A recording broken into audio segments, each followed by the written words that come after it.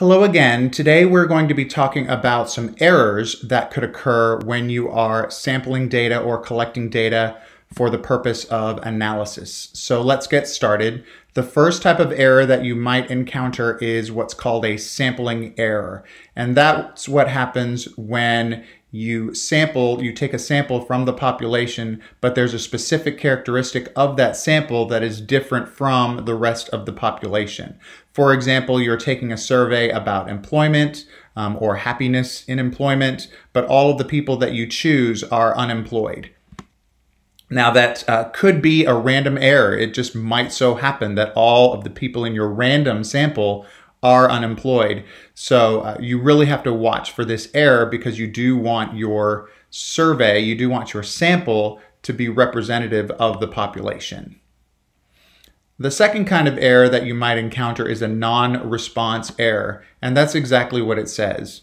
Uh, people choose not to answer your survey for one reason or another. Sometimes they don't have the ability to do it because if you are conducting an online survey, they might not have the technological ability uh, to answer that survey. Also, it might be the kind of survey where they're really not passionate about the topic um, or they don't know a lot about the topic. So they might be uh, less inclined to answer your survey. But if they do know a lot about it and they do want to express their opinion, then those are the people that would take the survey. And that that's another form of the non-response error is where you only get people answering the survey if they know a lot about the subject or are very passionate about it, like a dissatisfied customer talking about customer satisfaction. Um, and that will skew the data as well, so you don't want that kind of error either.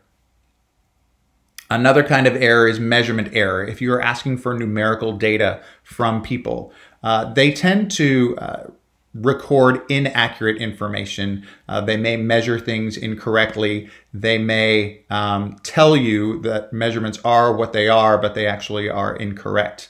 Um, height and weight, uh, they might be rounded to the nearest inch or pound, whereas you would want it more accurate than that, or they might giving you the information that they wish were true instead of what is actually true, and that might skew the data.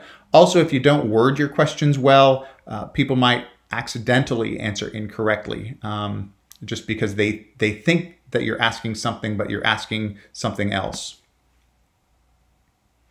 All right, and the final type of error is what's called a coverage error. That basically means that your sample doesn't accurately reflect the population. Uh, you always want your sample to be proportional to the population so that it represents the population. So for example, uh, if you were asking about successful relationships and you decided to ask 10 couples about what it means to be in a successful relationship, um, that doesn't really accurately reflect the population because the population isn't all coupled together. Um, there are single people, um, and uh, people in other situations that you would also need to include in that survey. So this usually happens when your sample isn't unbiased or isn't large enough. 10 couples is not that many uh, people to ask about um, successful relationships or anything for that matter. So you would want to ask a lot of people um, to get a lot of coverage, but you would also want to ask a variety of people so that your survey is unbiased. So here's how we avoid those errors. The obvious way to avoid errors is just to ask everybody, have everybody in the population take that survey. We call that a census. Um, and that's where everybody is asked the same series of questions. Well, that's not always practical, so uh, you have to conduct a survey, but you have to make sure that it is a proportionate representation of the population. Um, so you'd have to look at all types of people uh, that are in the population and then make sure that each type of person, uh, regardless of several different factors about those people, uh, make sure that that is a proportionate representation of the population. Okay, you have to make sure that the survey is large enough, so not like 10 people or anything like that. Um, it has to be unbiased and it does have to represent the population. So that's how you conduct a proper survey and you avoid those errors. Uh, if you have any questions about that, please let me know and I will see you tomorrow.